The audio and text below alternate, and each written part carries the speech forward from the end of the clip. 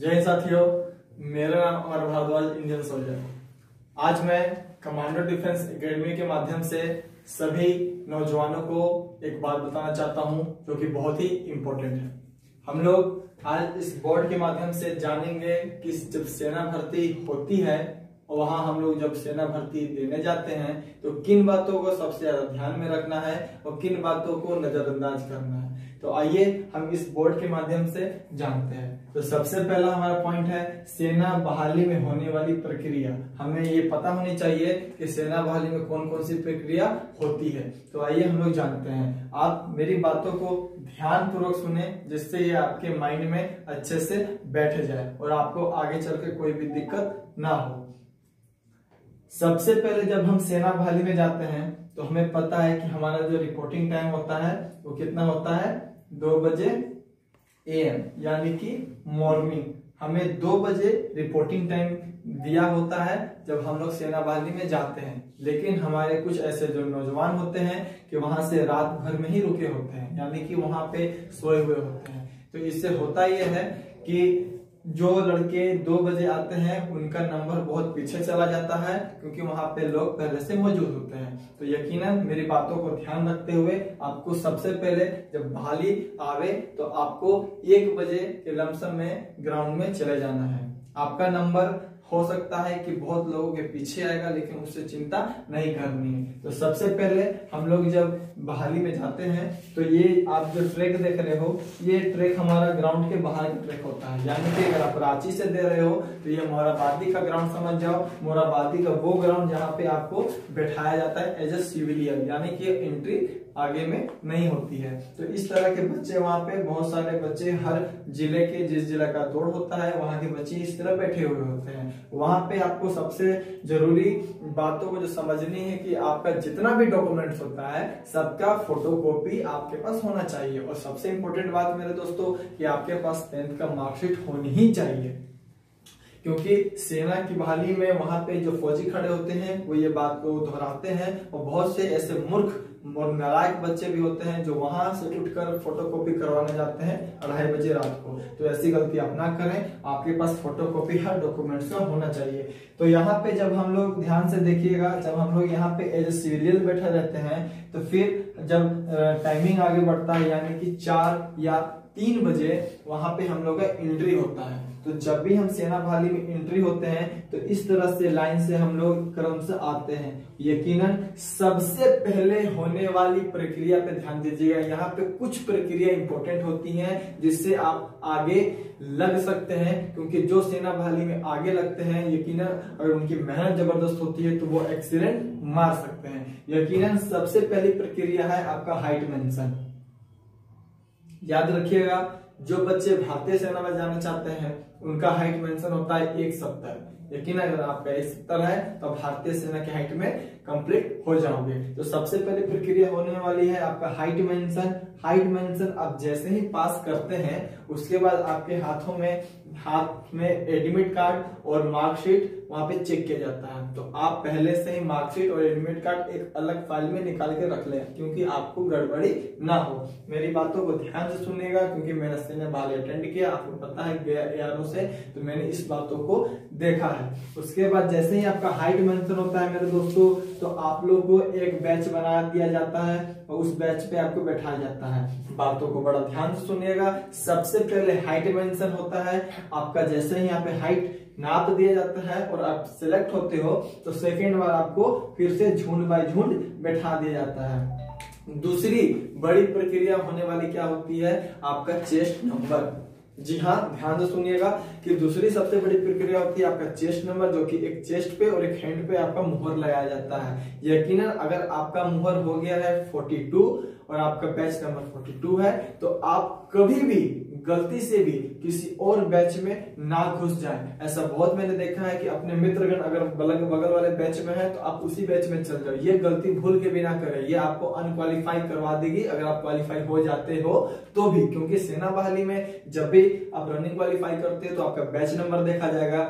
और अगर आप उस बैच के हो, तभी आपको क्वालिफाई मांगा जाएगा। तो यकीनन जब आपका यहाँ पे बैच नंबर लगता है तो आपको ध्यान देना है कि आपका बैच संख्या जो लग रहा है वो कितना लग रहा है। अगर आपका बैच संख्या लगने वाला है दो सौ अट्ठानबे तो आप खड़े होके पीछे बैठ सकते हो, क्योंकि सेना वाली में 300 का बैच बनता है, और 300 का यानी जो दो सौ अंठानवे नंबर का लड़का है यकीन सबसे पीछे होगा। तो मेरी बातों को ध्यान से देखना है कि आपको इस समय ध्यान देखना है कि मेरा बैच आगे वाले को कितना पड़ रहा है। अगर अगले वाले को पंद्रह, पैंतालीस, सैतालीस इस तरह का पड़ रहा है तो आप कंफर्ट हो, आप वहीं पे बैठे रहना।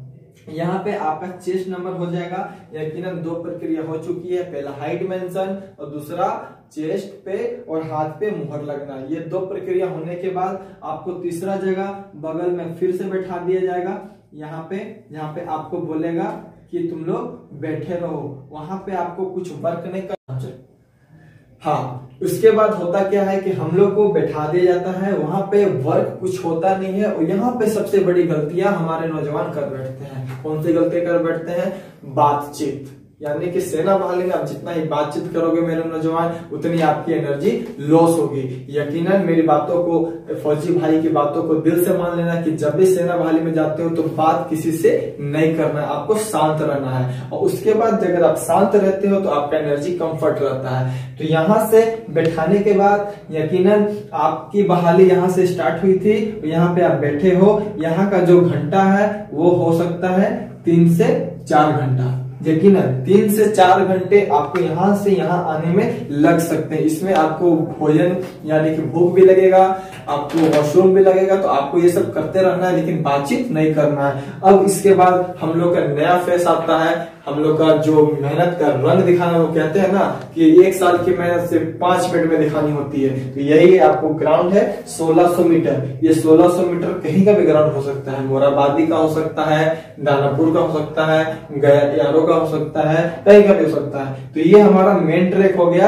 अब यहाँ से बैठाने के बाद बच्चों को पीछे घूम कहा जाता है। यहाँ पे ध्यान रखिएगा, जिसका भी पोजीशन सबसे पीछे है, यहाँ पे ध्यान लगाने वाली बात है कि आप उठकर वॉशरूम जा सकते हो और वॉशरूम से आने के तुरंत बाद आप अपने दोस्तों से कंसल्ट करके आगे बैठ सकते हो। क्योंकि अगर आप यहाँ पीछे रह गए तो यकीन आप पीछे ही रह जाओगे। वो आपके काबिलियता पे निर्भर करता है कि आप 1600 मीटर कैसे मारते हो। तो आगे हम वीडियो में तुरंत चलते हैं। तो यहाँ से उठने के बाद हमारी एंट्री यहाँ से करवाई जाती है। आपको पता होगा जो नौजवान सेना बहाली में गए होंगे, भले उनका जो भी अनक्वालिफाई हुआ होगा। तो यहाँ से जब ये एंट्री करवाया जाता है तो एक ऐसा ऐसा बैच बनता है, यानी कि तीन से चार लाइन, यानी कि एक बैच में बीस बंदे होते हैं, और वो बच्चे कम से कम 300 के बैच रहता है। इतना बड़ा बैच होता है, ये आपका बैच हो गया। ये आप ध्यान से देख रहे हो, यहाँ से उठाने के बाद डायरेक्ट आपको 1600 मीटर का ग्राउंड में बैठाया जाएगा, और यहाँ पे सबसे इंपॉर्टेंट बात आपको ध्यान देनी है।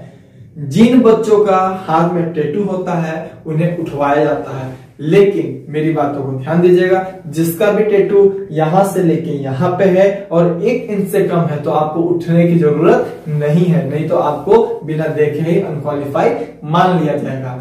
उसके बाद आपका यहाँ पे एक कमांडर आते हैं, जो सीनियर साहब होते हैं, वो आपको कुछ निर्देश देते हैं कि सेना बहाली में किस तरह से दौड़ना है, किस तरह से क्या करना है। यकीन आप बहुत अच्छे से दौड़े जाते हो तो आपको उनकी बातों पे ध्यान देना है, लेकिन नज़र 1600 मीटर ग्राउंड में रखना है, क्योंकि यहाँ पे लोग बहुत बातों को ध्यान नहीं देते हैं और गिर जाते हैं। और गिरने के साथ उनके बहुत सारे लोग चढ़ जाते हैं, जो कि डेहरी में 2017 में हो चुका है, एक युवक की मौत। तो आपको ध्यान देखना है, अपने बॉडी पे, अपने शरीर पे आपको हर्ष पुष्ट रहना है, अपने पोजीशन को बनाए हुए रखना है, ठीक है? और यहाँ पे आपको जैसे ही सोलह सौ मीटर गो बोला जाता है तो यहाँ पे ध्यान देने वाली बात है कि जैसे ही फ़र्स्ट राउंड हम लोग यहाँ पे दौड़ते हैं ना बच्चे, जितने भी फ़र्स्ट राउंड दौड़ते हैं तो यकीनन आपको फ़र्स्ट राउंड ज़्यादा स्पीड नहीं दौड़ना है। इससे आपको तीसरा राउंड में इफ़ेक्ट पड़ सकता है। आपको मिला के चलना है, जिसका टाइमिंग होना चाहिए एक मिनट दस सेकेंड। इस बात को गौर कीजिएगा।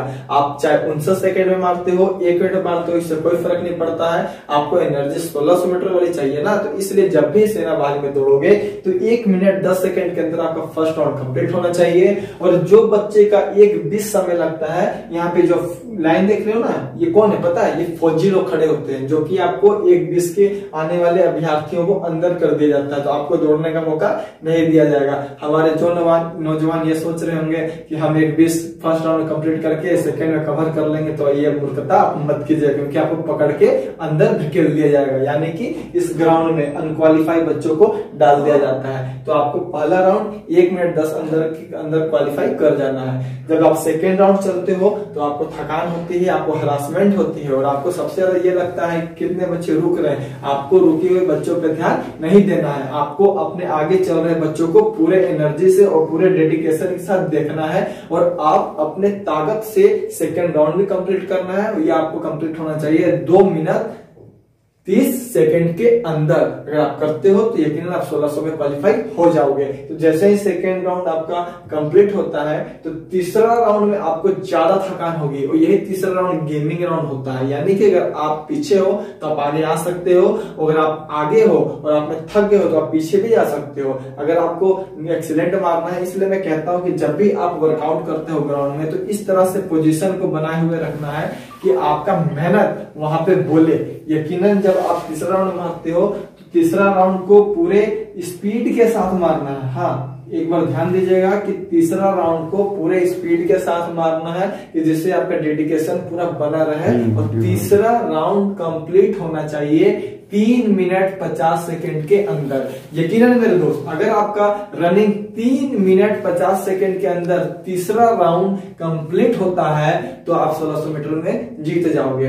तो जैसे ही ये कंप्लीट हो जाता है, आपको ज़्यादा हरासमेंट होती है। लेकिन वही वो कहते हैं ना कि सपने में देखा था जिसको आज वही दिन आया है। तो माता पिता को याद करना है, गुरु की बात पे विश्वास रखना है, और चौथा राउंड भारत माता की चला के दौड़ जाना है। और जैसे ही आप चौथा राउंड दौड़ते हो, आपके सामने बहुत कम बच्चे होते हैं, और आपको पूरी जी जान लगा के चौथा राउंड मार ही देना है और आप पाँच मिनट या पाँच मिनट तीस सेकंड के अंदर क्वालिफाई कर जाओगे तो आप एक्सीलेंट बोर्ड में घुस जाओगे। फिर आपको ज़िंदगी में आगे मेडिकल और रिटर्न के बाद आप फौजी कहला जाओगे। तो इन बातों पे आपको ध्यान बस यही देना है कि आपका एंट्री से लेकर हाइट मेंशन चेस्ट नंबर बैठना और 1600 मीटर ग्राउंड में एंट्री करना। इन सभी बातों को ध्यान से देख लेना वीडियो को समझ लेना और सबसे इंपॉर्टेंट बात मैं यही कहूँगा कि बात 1600 मीटर जब मारने जाओगे तो नहीं करना नहीं करना नहीं करना। यकीनन सेना बहाली में कोई भी बात मत करना अपने दोस्त से